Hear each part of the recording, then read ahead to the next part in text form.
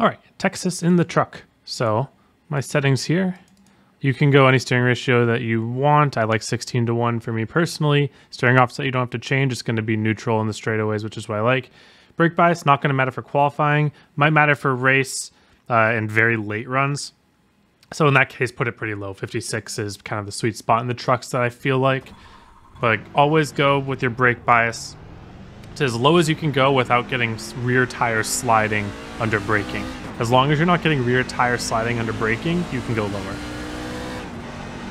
Um, okay, so this will be a second lap, hot lap. First lap, we don't get up to speed quite enough.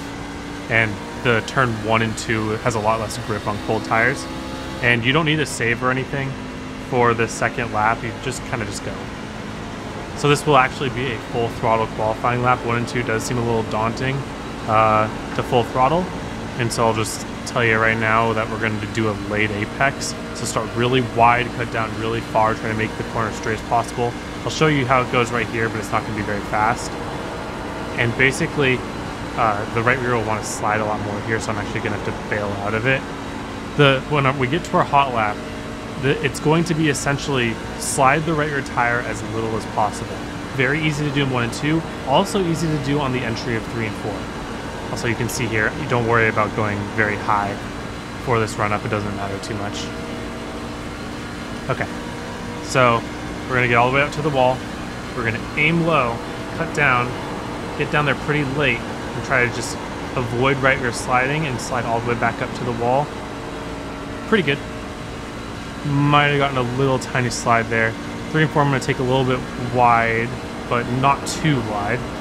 And then we're just going to try to hook it on the bottom without sliding our right rear. So we get up to the wall here. If you can keep that pinned on the bottom, do it. But uh, sometimes the car will just want to slide up. And it's uh, best not to fight it because that's when you get the right rear slide. I mean, there's not too much to it. It's a little bit precise in 1 and 2 three and four, the lower that you can enter, the better, but also it just makes it, you see how I slid a little bit there and all that time is now going away? That's why I did that little bit of a wider entry because that lower entry has a better potential, but it's more difficult to avoid all of those right rear slides. And you just want to avoid the right rear slide by any means necessary. So let's take a look at the best lap there.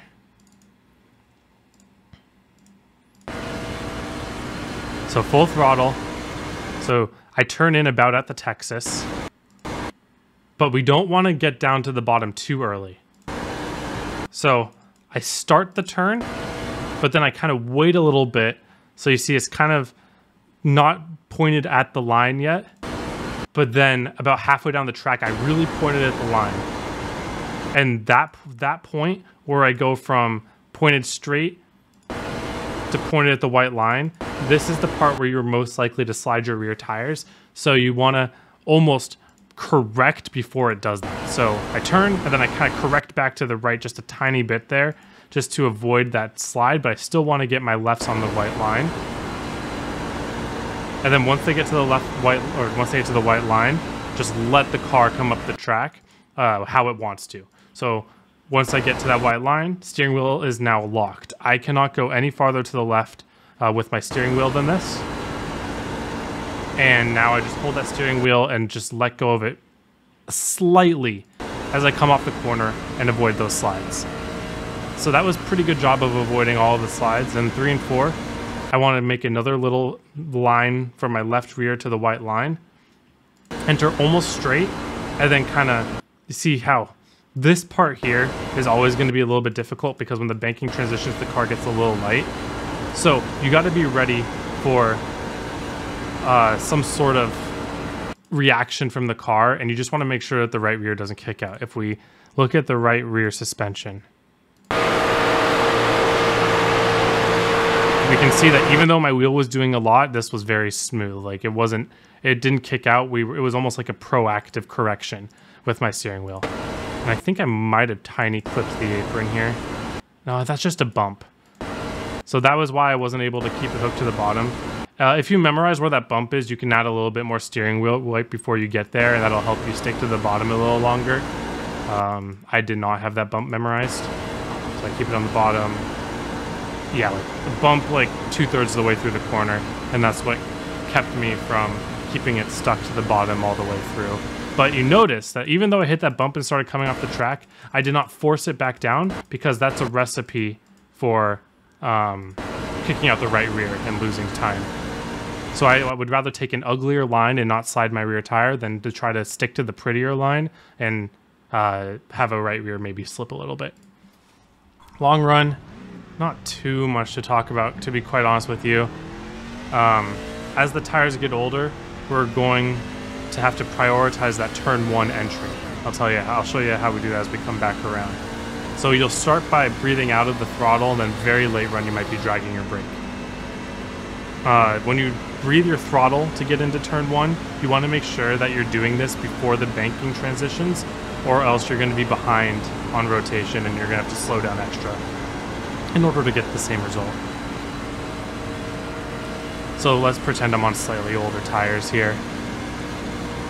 And I need to get down to the bottom, do like a little blip here, and then that'll help me turn down to the bottom. It, you'll, you'll feel it'll feel so easy to get down to the bottom for like about eight to ten laps, and then at some point you're just like, wow, this car doesn't turn anymore, and that's because the wear of the tire or the the weight of the tire shifted to kind of being on the right front more than the right rear in the corners. Seems like the track has sped up a little bit since the last time I was out here, but we would just do a little tiny blip. And you can even do this early run just to help save a little bit. Oh, you see, and that's the other thing I was going to talk about. Uh, right rear tire sliding like that is going to be the thing that really hurts you in the long run. Just like we were talking about don't do it in qualifying, don't do it in racing either because the heat that you put on your right rear is very hard to dissipate at Texas because it's always uh, being relied upon in the corners. It doesn't hurt you too bad as your tires are coming up to temperature, but like once you get in the thick of a run, you want to maybe take out a bit of throttle in the center just to make sure that you don't uh, slide your right rear tire and compound some heat issues that would give you less grip as the run goes on. The people that are able to manage sliding the right tire throughout the run are going to be the ones that have an easier time going full throttle through three and four and getting the power down in one and two. Huge priority.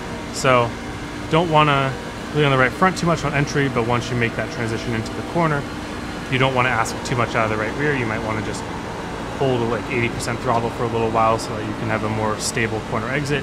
If you feel like you're on the edge of loose, it doesn't really help you to be on that edge of loose in the truck compared to like the ARCA car, which I love. The truck, you want to drive neutral in these type of setups because being on that edge of rotation isn't gonna get you too much, especially in three and four.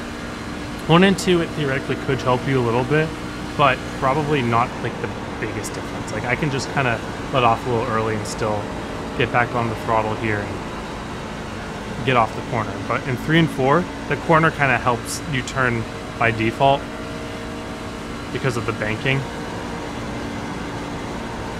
So if you're sliding your rear on the edge of, of loose on the three and four turn, it's probably unnecessary.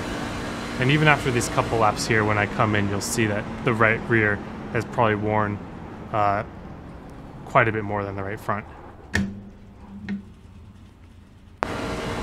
Yeah, 98, 99, so it wore like double, almost. I mean, it's probably going to be a little closer than that when all said and done, but that right rear is what you're going to have to be careful of, especially for the beginning of the run, so that you set yourself up. If you get tight late in the run, that's fine. Just manage it how you would normal tire saving, like uh, backing up your entries and all that fun stuff. But anyways, thank you all for watching. Hope you have a wonderful day, and I hope to see you all on the track.